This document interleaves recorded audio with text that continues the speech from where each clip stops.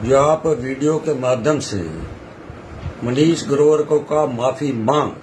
अगर माफ़ी नहीं मांगी तो हम तेरे को देख लेंगे।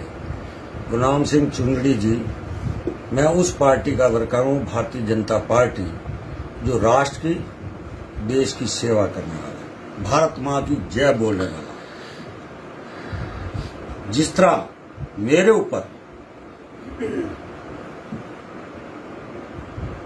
महिलाओं पर अश्लील हरकत का आरोप लगाया। मेरी छवि को खराब किया। मेरी छवि को एक जनता के सामने ऐसे दिखाने की कोशिश की कि मनीष ग्रोवर एक गुंडा है बदमाश है। चुंगड़ी जी मैं बताना चाहता हूँ। मैं 1971 की जनसंघ की यात्रा से 2021 तक आज भारतीय जनता पार्टी के बीच में कई पदों पर रहा मंडल अध्यक्ष से लेकर जिलाध्यक्ष, प्रदेश में महामंत्री, प्रदेश में मंत्री सरकार में और उपाध्यक्ष की जिम्मेवारी मेरे पर रही है।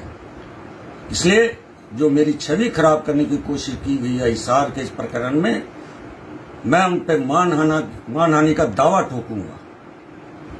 इसलिए चुंडड़ी जी, जो नशा चढ़ा हुआ है तेरे को बताना चाहता हूँ ये हरियाणा की जनता है। हरियाणा की जनता जो जो भी व्यक्ति गलत करता है, उसको माफ़ नहीं करेगी।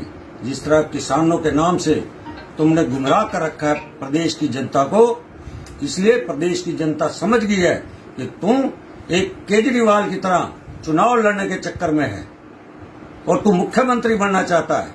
इसलिए जो 1700 वोट लेने वाला चुनड़ी आज मुख्यमंत्री के खाब देख रहा है।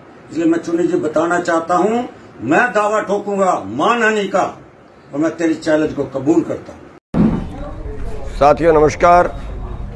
साथियों, मनीष ग्रोवर ने जो औरतों के खिलाफ अभद्र व्यवहार किया है और उसके दरवाजे पे कई दिन से रोहतक के अंदर हमारे लोग बैठे हुए हैं, लेकिन अभी तक उसने माफ़ी नहीं मांगी है।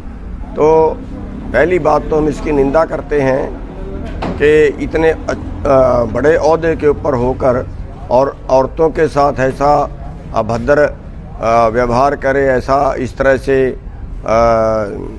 शरारतें करे तो वो वैसे ही शर्मनाक है और उसको जल्दी माफ़ी मांग लेनी चाहिए, इस मामले को निपटा देना चाहिए और अगर वो नहीं निपटाता है तो फिर उसका रिज़ल्ट जो है वो कहीं और गलत ना हो और कहीं उसमें हमें भी कोई कड़ा कदम उठाना पड़े। हम इसकी बिल्कुल कड़े शब्दों में निंदा करते हैं और अगर उसने जल्दी माफ़ी ना मांगी तो हमें उस पर फिर एक्शन लेने के लिए भी मजबूर होना पड़ेगा। इसलिए बीजेपी के जो बाकी नेता वो भी ध्यान दें इस बात के ऊपर कि ऐसे मामले जो हैं, ये जहाँ निपट जाएँ, वहीं अच्छा होता है और वरना फिर ये बढ़ते रहते हैं। आग और लड़ाई दोनों चीज़ फिर ये बढ़ती रहती है।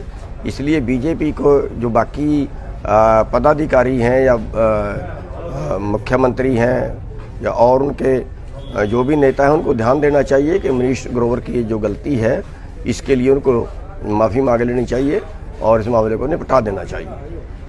और वरना तो फिर हमें भी कुछ ऐसा ना हो कि कोई कड़ा कदम उठाना पड़े और फिर वो उसका रतीजा ज़्यादा अच्छा ना निकले। धन्यवाद।